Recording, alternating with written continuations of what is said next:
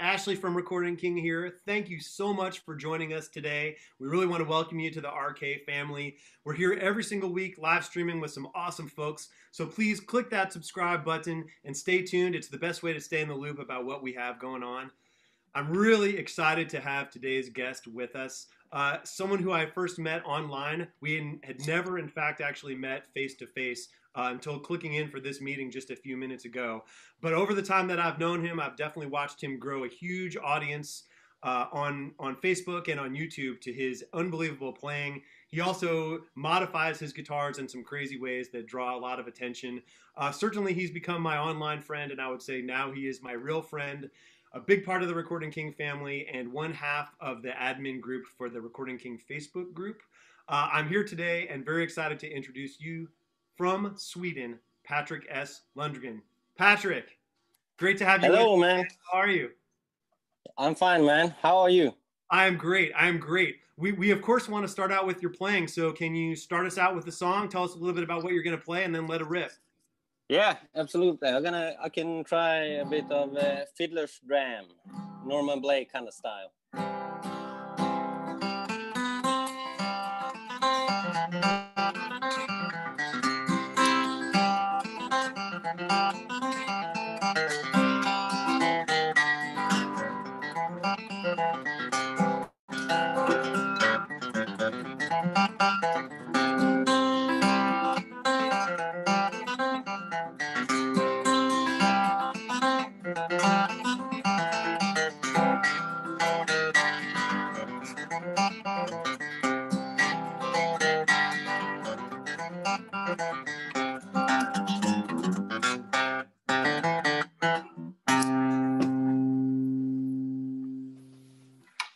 That's awesome, man. Thank you so much. It sounds great.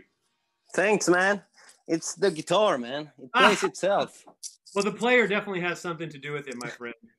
yeah. So tell me this: What is your first memory of the guitar?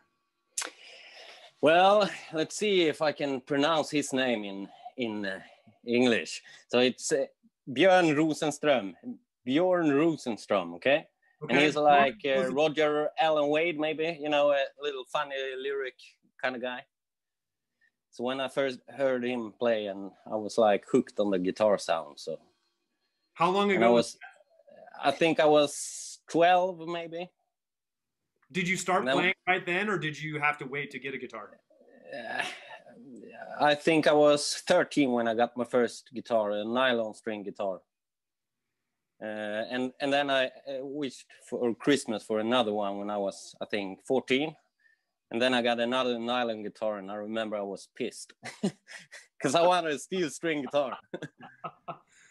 so Sweden, I would say I could be wrong about this, and please correct me if I am, but I, I don't know if it's the world's hotbed for bluegrass necessarily. How did you come across bluegrass in Sweden, and, and what was it like being what's it like being a bluegrass musician in Sweden?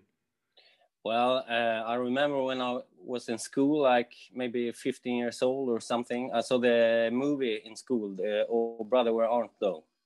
And then I heard the music and I really liked it. So I heard, had to search what kind of music it was, and I found out it's called bluegrass. And then I went to online and searched for bluegrass guitar on YouTube. And then I found Tony Rice playing Salt Creek, and you know I had to learn it, and I learned it right away. So I was hooked. I don't know too much about Sweden as far as the music scene is concerned. What describe to me like what opportunities do people have to play? Do they have a pretty strong infrastructure? Obviously, it's a little bit on hold now because of the virus, of course. But is there are there a lot of places to play? Is it a really active music scene where you are, or describe it a little bit if you would? I wouldn't say personally that it's an active scene here. We have like bluegrass festival. I don't know how many, you know, but four or five, six maybe uh, the biggest one, actually, I, I, think it's one of the biggest. It's actually 10 minutes from my house. Uh, so that's kind of close, but you know, this year ain't the music festival year, as you know. Uh, so I, I, don't think you, you you don't play a lot of bluegrass in the pubs here. You know? So it's not we don't have any station in, and so. What what kind of music would you say is most popular locally? I mean, obviously, there's some amazing, amazing musicians from Sweden, of course. Oh, that's a hard question. You know, people here like rock, metal stuff. I think that's the most popular, not bluegrass. A lot of people I met at parties and stuff, they never heard of bluegrass. So, but when I play it, they seem to enjoy it. It's a happy music with uh, sad lyrics. Yeah, that's true. That's a great way to describe it. You're absolutely yeah. right. So we'll probably never see an electric guitar in your hands. Probably no, uh, no tapping or anything like that. nah, nah, that's not for me, man. I don't have any, anything against it, but it's not my taste. One of the things that really impressed me about your lessons is how well you break down some of those like super complex runs of other musicians. And so I'm really curious to know like a little bit how when you're first hearing a song, what what's your process? How do you figure out those really intricate lines, and and then how do you teach them to people in such an effective way? Yeah, uh, I would say I was blessed with a good ear, right? I don't know if I had it in my hands right away, but I, if I can hear it, I can play it that, that's the best way to describe it. Uh, I can listen to a CD and pick it out, but I watch some videos now when you have YouTube. That's make it more easy when you see the fingers. You know, oh, he play a C in, you know, with a capo. So, but uh, if if I can hear it, I can play it. I know also a lot of bluegrass is based on jamming with other people have you found other people around you that you're interested in jamming with or do you mostly connect with people online for jams? I know that you have connected with jp i definitely want to hear more about that as well. Yeah. Oh, well uh, when i lived in stockholm uh, i played once a week with uh, a bunch of friends in the old town stockholm. Uh, so it wasn't like an open jam in a bar you know?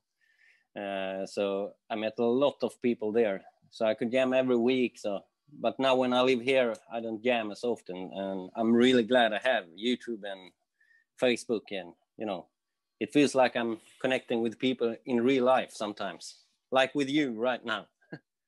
so, how did you? How far are you from Stockholm, and how did that move take place? And, and what, what's the situation like now as far as you getting back there to jam, or do you not get a chance to? Uh, let's see. I moved from Stockholm like four years ago because I met my my wife. Uh, so I actually met my wife the first time in 2016 uh, at the cruising with cars and stuff. Uh, and then I met her again, and you know we clicked. The first time we clicked, the other time, and here I am owning a house, having a baby, a wife. Congratulations. Um, yeah, thank you, man. So, how far are you from Stockholm, and ex- describe uh, exactly where you are in Sweden? Uh, you could say I'm in the middle, maybe, and it's maybe two and a half hour to Stockholm from me. So a weekend so it's not trip, very far. Not a, not a night trip. You never, you wouldn't run up there for the night. I could, but not now when I have a kid. You know. Yep. Yep. How, how old is your is your child? She is almost seven seven months. Are you getting yeah. a lot of sleep? One more time. Are you getting a lot of sleep or no? Yeah. Well, I get a kind of good sleep, but my wife doesn't. yeah. Yeah. How has that affected your practice time? Well, a lot actually. I can't just, you know, take the guitar and play whenever I want. That's not going to happen anymore. But uh, my my wife is very good let's say that. So i get to play more than other men with babies i think. Well so what's the weather like where you are? Is it does it go from cold to hot in the winter and summer or do you yeah it's like it, it's like a lightning switch you know when it's the first of september it's cold. And so what are we talking about? Like 30 you guys are on celsius? Uh, we are degrees uh-huh. And yeah, so it's like does it get? I don't know now, man. Uh, maybe now it's ten degrees, maybe. I, I, have no idea. It could be five. I haven't been outside. So. in the winter, it will get below zero. I would imagine. Oh yes, yes, yes. And you guys get lots of snow as well. Yeah, we do. Not last year, not a lot, but sometimes it's crazy amount of snow. So Where do you get the inspiration for the songs that you're picking for your lessons? Well, I search on YouTube for a song that I don't think exists as a lesson. And I want to do lessons that don't exist on YouTube, but I also want to do my variation of popular song, like you know, whiskey before breakfast. There's a lot, tons of lesson, but I want to do it maybe my way, my own way, or someone else arrangement. Like people want to play specific uh, arrangement of Tony Rice, and then I'm gonna break it down, play it, upload it, and you know, it's free so all those videos that you post are those the first take, or do you have to try them a number of times before you get it done? Oh, oh man! Sometimes I can do one take in five videos, and sometimes I need to do like 100 takes. So it's not only one take. Do you edit it afterwards, or is it just pretty much from start to finish? You have to get it right. Yeah, it's pretty much start to finish. I mean, that's sometimes the, I that's a test of whether you can do it or not. You know what I mean? If you yeah, yeah, not mistakes. That's yeah. Awesome. So, sometimes sometimes I edit to do you know I play slow first the lesson and then I do another video and I use iMovie and I put them together. But that's not a lot of editing. So. Mm-hmm. Well, so would you mind playing something else for us? Yeah, absolutely. Uh, give me one second. Then I bring the guitar. Oh, sure. Do, do, do, do, do, do.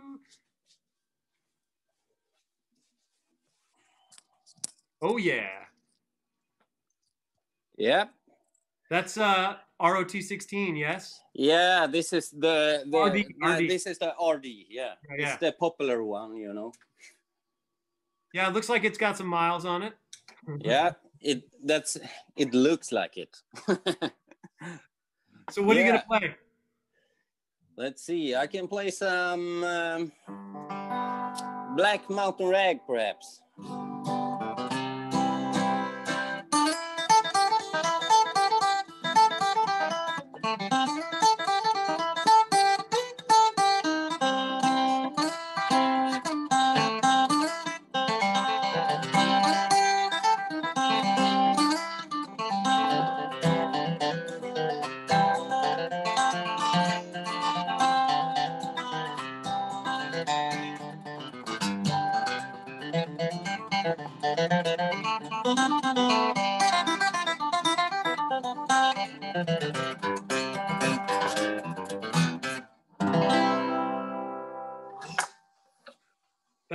Awesome, man.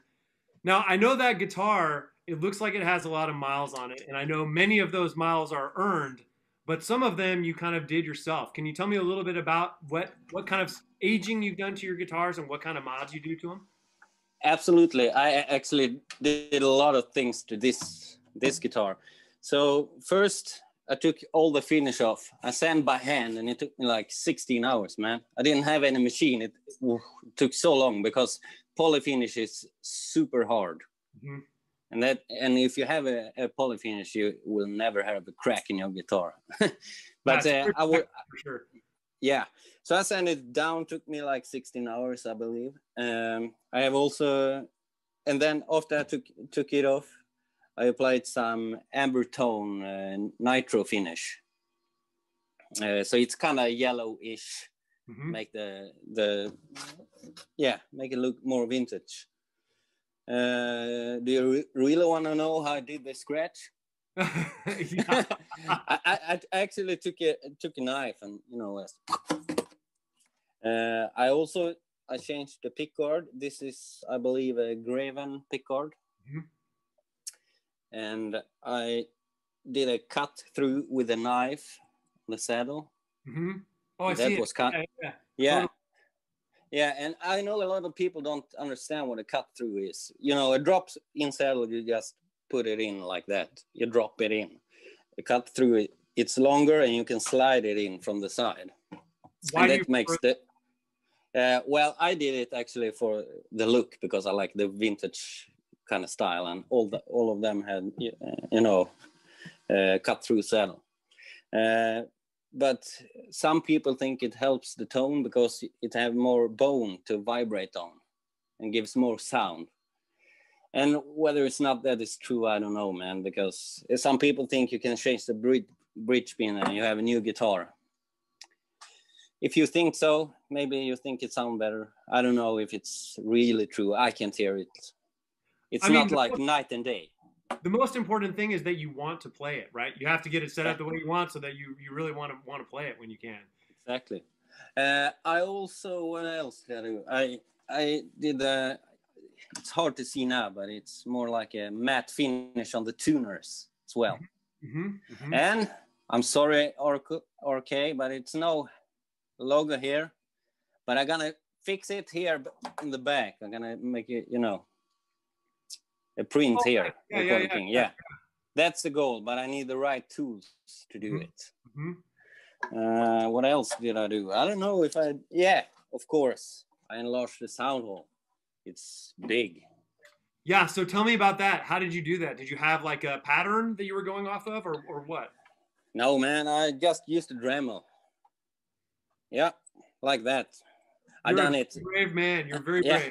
brave. I, I done it a lot of times. The first guitar I tried it on was the RD 316 I had uh, seven years ago, maybe or six. That was the first guitar, and you know, I like to uh, do modifications to see what I can do to guitar. Will it change the sound? And do you and think the sound hole did change the sound?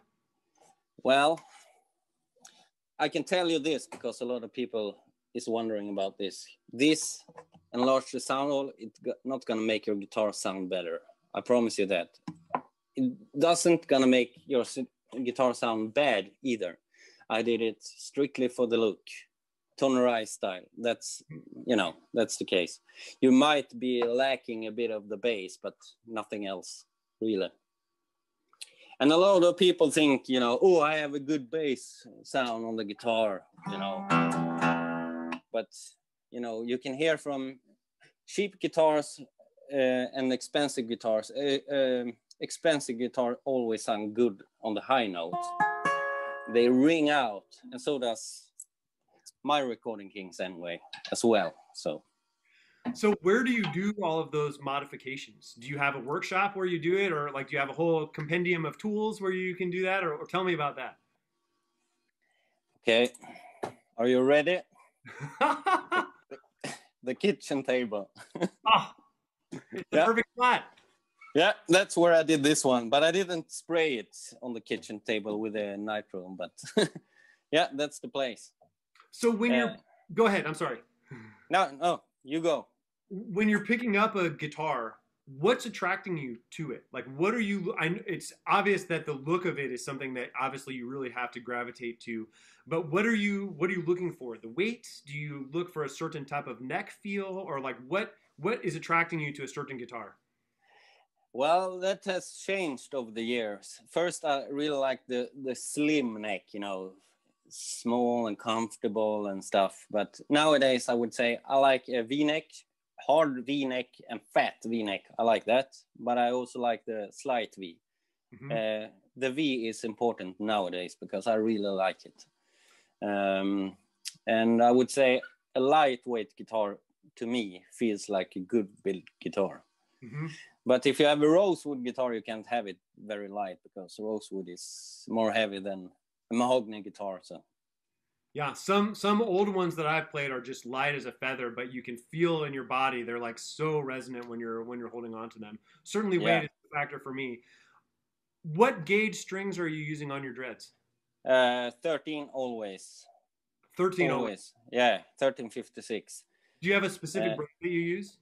Yeah, Elixir always you know uh, but i have tried so many strings you won't believe it. Every strings on from strings and beyond the website. I've tried every brand i think. And you know it's a lot of strings that sounds really good but for five minutes. And mm-hmm. elixirs you know they sounds good all the time. How often do you have to change them the elixir maybe it depends on how much i play. Sometimes i play you know every day and sometimes i haven't played in a week so but three months with elixir maybe? Mm-hmm. i would and say- one day with every other brand. Yeah. Are you like a super sweaty player? Do you i think i am but i don't know if i am in general but it feels to me like i am It definitely corrodes the strings. At least for me, I know when I'm sweating on them, then I'm like, ooh, I got to change these ASAP for sure. Yeah, exactly. And and uh, I don't like the you know the squeezy noise with other strings. Elixir doesn't have that, so I, I'm not fond right? of that. Yeah, exactly. And they have a patent on the coding, so no other string can use that particular coding. I think for every on the testing that we have actually done on Adirondack tops, we found that that 13 gauge, which I guess is a technically it's a medium, maybe it's yeah really drives that Adirondack top way way harder than just a lighter gauge. Although it's not quite as easy to play, it's really really powerful on those thicker thicker tops. Yeah. Not, not that the tops are thick; they are stiffer, is what I mean to say. Not thick yeah, tops. Stiffer. stiffer. Yes. stiff. yeah, exactly. So uh, Jim is feeding me a couple questions here from some of the people who are watching. What elixirs are they? NanoWeb uh, or which ones? They are a phosphor. Aha, aha. Yeah, yeah. Not not the 80-20 ones. Mm-hmm, mm-hmm, mm-hmm. Yeah, and, and I I don't know why I like them, but you know, is they last. That's why mm-hmm. I like sound of other strings as well, but I don't like like like how they last. Well, because of all of your lessons, I know that you get a ton of random questions from people. Not just about the instruments that you're playing, but tons of random questions. What are some of the questions you get asked the most? Oh man. I, I the most I don't know, but I have some kind of questions they ask me uh, or more like you know, can you come over to US and play on my festival and stuff? You get that a lot, huh? That's awesome. Yeah, I have got that a lot actually. Dude, we would love to have you. We would love to have yeah. you. and someday I'm gonna be there. We'll make it happen. I promise you that. Some way. So, we'll so that is actually a lot of people who write to me. They say, "Can you come over and play at my festival?" And some people have the, a festival in the garden, like private parties and stuff. So that's awesome. Well, yeah, we'll we'll keep a spot in the jam open for you whenever you make it over here. We'll keep a yeah, spot for you. Absolutely. So I know your YouTube channel just hit 10,000 subscribers, which is seriously amazing. Tell me Thank about you, what, that, what that felt like and what you're going to do next with it. Well, I have I have had my account since like 2007, but I haven't uploaded, you know, just to listen to music. So, but uh, it's it's a big thing for me. If you don't have a YouTube account and and stuff, you wouldn't understand. But it's a really big big thing to me, and it's a huge milestone with a 10k.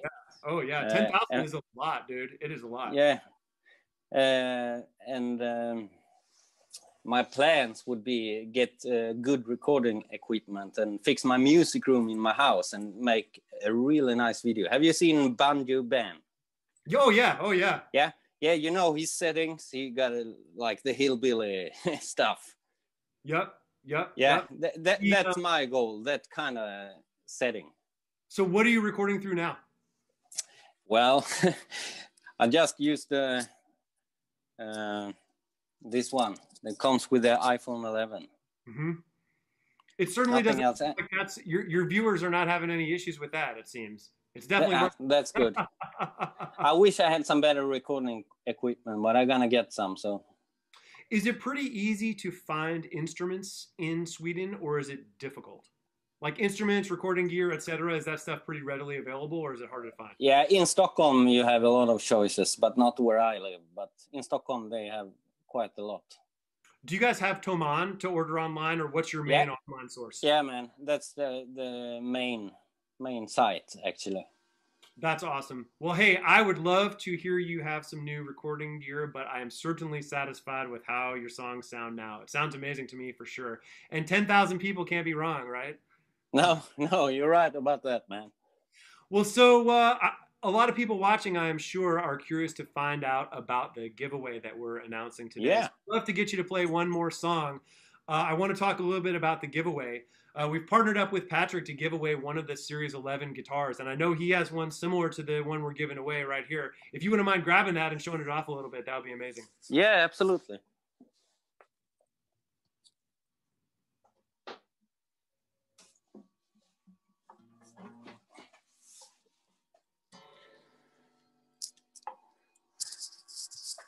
Yeah, I, I want to say that I just got this one today.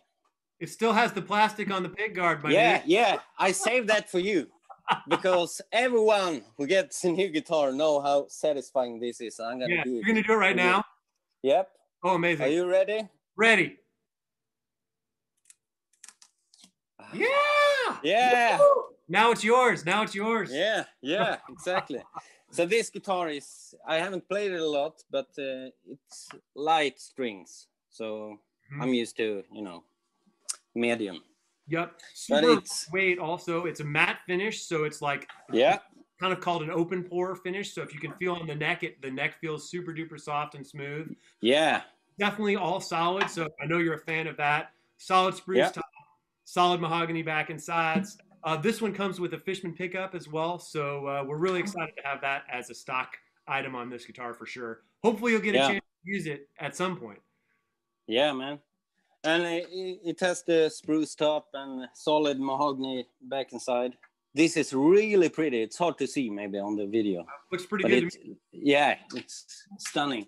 And I actually love this shape of the headstock. It's like the old school vintage. Yep, me too. I think that's my favorite of all of the ones we do for sure. It's very- Yeah.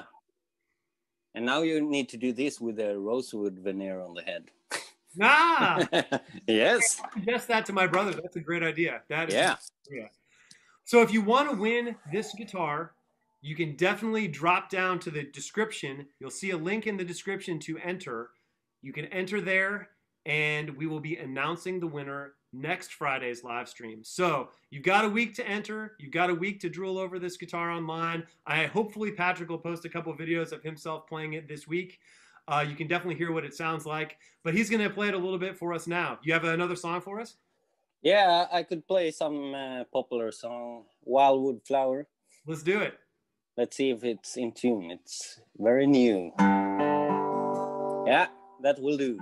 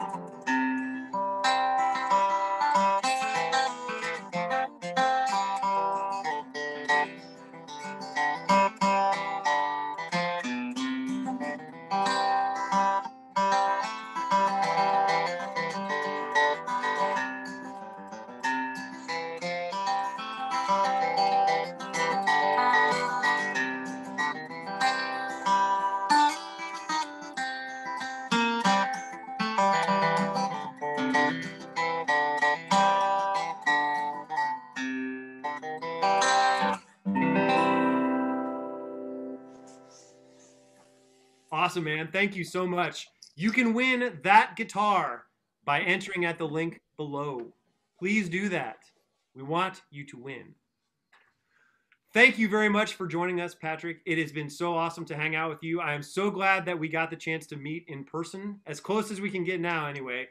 If people want to check out your channel, what's your uh, YouTube URL? URL. Just search for Patrik S. Lundgren. Yeah, that's Cool. it. And subscribe. Believe me, these lessons are awesome. He definitely has it dialed. Patrik, thank you again for joining us.